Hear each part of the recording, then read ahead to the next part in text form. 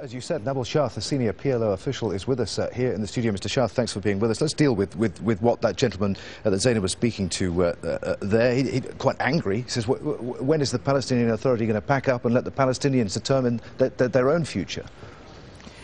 Well, the Palestinians gained a lot when there was a leadership for them called the PLO that was recognized the world as representing them. Mean, a people without a representation uh, is a people that goes nowhere. And I think it's when the world recognized a Palestinian leadership is when we started making progress. We moved from a refugee issue to the issue of a people with a land, with rights, with self-determination, and the right to a state. But the PA has lost its, its legitimacy, uh, hasn't it? I mean, as that gentleman says, he, he accuses you of being a puppet regime uh, for the Israeli occupation. Well, I, I, I understand and I forgive him. I think he uh, really misses the point totally. I mean, during these years in the occupied territory, we were able to bring in 250,000 Palestinian refugees inside the West Bank and Gaza, which was a reversal of a 20-year-old uh, uh, deportation every year and, and transfer of Palestinians every year. We were able to create an, a, a, a, a, personality for the Palestinian that was recognized in the world. We are pushing that today to be an independent state that the world is recognizing. It's, we, it's, it's true what he said, I've heard his last statements, that today negotiations looked futile with Mr. Netanyahu. It is futile, and that is why we are out of negotiations. We are out of negotiations into uh, uh, non-violent uh, uh, popular struggle into international actions such as the anti-apartheid uh, uh, action of the South Africans. We are into trying to regain our national unity and into building institutions for the state that will come. I want to ask this is a strategy that starts from the recognition that today negotiations are going nowhere. Uh, I want to ask you about the, the, the Palestine papers. The PA has been very critical today of, uh, of Al Jazeera since uh, our first broadcast 24 hours ago. Have you had an opportunity to look at, at, at the Palestine papers on, on our website? D- do you share the belief that they're, that they're a fabrication? Or, as Saeb uh, today uh, has been saying, that uh, the documents were linked to my office? He, he says he appears to be coming around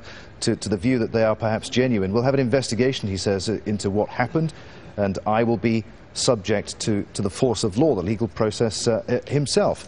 Uh, do you accept that they're genuine? Well, they probably are. The question is not really uh, is, is how do you read them.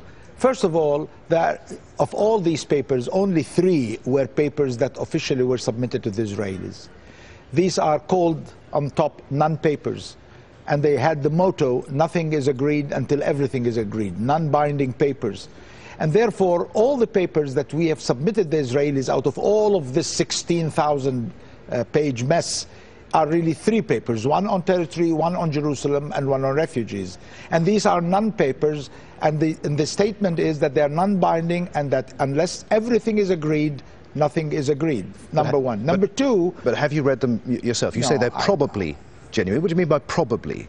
Well, what I heard yesterday, what I've seen on Al Jazeera, these are statements that looked looked like. I mean, I don't know. I have not seen them in, in front of me. They looked like they are genuine. The question they were read out of context. They were read out of the, the proviso that I've just said. Well, we'll put them into context for us. If, they, if they're out of context, Well, I mean, I- people can you- go I'll- on and. I'll and- give you and- two. I'll give you two examples. There's one statement yesterday that uh, uh, uh, proclaimed that Mr. Erekat said, "I'll do a- anything, but I will never become a Zionist." Well, this was really, if, if if the paper, I recall the paper in which this was mentioned, this was in response to the question, "Would you recognize Israel as a Jewish state?" And he said, "No, I will never do because I will never be a Zionist." But that was not mentioned in the, in the paper yesterday. Another one, there was a statement that Ms. Livni said to, uh, to Mr. Uh, or to Mr. Qurei, I, will not, I do not want to discuss Jerusalem. Cut, as if this was the statement. But Ms. Livni went on discussing Jerusalem for months. And therefore, this is what I mean out of context. And secondly, out of, of, out of the, the proper assessment of what these papers are. They are non-papers and they are non-binding and they do not form the body of an agreement until there is a full agreement reached. We have not reached the agreement, neither in Camp David, nor in Taba, nor in uh, uh, Annapolis, nor in, in these negotiations with Ms. Livni and, and, and, Mr. Olmert.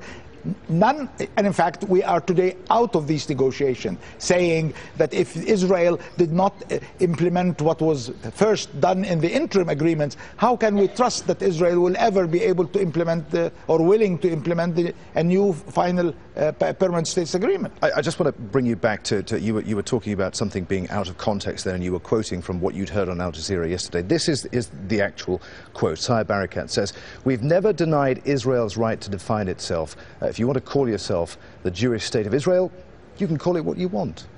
Yeah, that's, but that's taken yeah, from know, the but there documents. was a, another paper yesterday that was presented after that, and obviously there is a disconnect between these two, two statements in which he said, I will never be a Zionist. This is in response to what? This is in response to a question about recognizing Israel as a Jewish state. Israel can call itself what it wants, that's what he said. But we will not recognize uh, that statement about Israel because it jeopardizes our people in, uh, in Israel, the Palestinians in Israel, and it jeopardizes the right of our refugees. It's very simple. 24 hours ago, we found it very difficult to, to get any comment at all uh, from the, the, the, the PA. Uh, we had Saeb Erekat uh, speaking on our, our Arabic uh, sister network. He was very, very angry at the time, and then, and then nothing. No, no one wanted to say anything. There was, there was complete denial, it seems. Today you're here. Uh, is this a damage limitation exercise? No, no. I am really trying to respond to what had happened. What had happened is, for 10 years, uh, now we're going into the 11th year, we have been discussing permanent status negotiations and we got nowhere because of Israeli intransigence. We have committed ourselves to nothing except our very clear principles on land, it will be the land of 1967 occupied in the West Bank and Gaza. It was clearly in the papers that you pre presented in your Arabic version that this includes the Dead Sea, the, the, the, uh, the, the, the, no-fire zone, uh, Gaza, Jerusalem. It includes all of those. And it's very clear that if we are going to make very limited swaps, it's going to be one-to-one, and that these swaps have conditions upon them, and that refugees have a right to return and to be compensated, and no, no figures were, were ever really discussed or agreed with Israel. It's clear that the, the Palestine Papers, the release of the Palestine Papers has, has triggered a lot of anger uh, among not just Palestinians, but people who, pair, who care passionately about uh, the well-being of people in the region right around, around the world.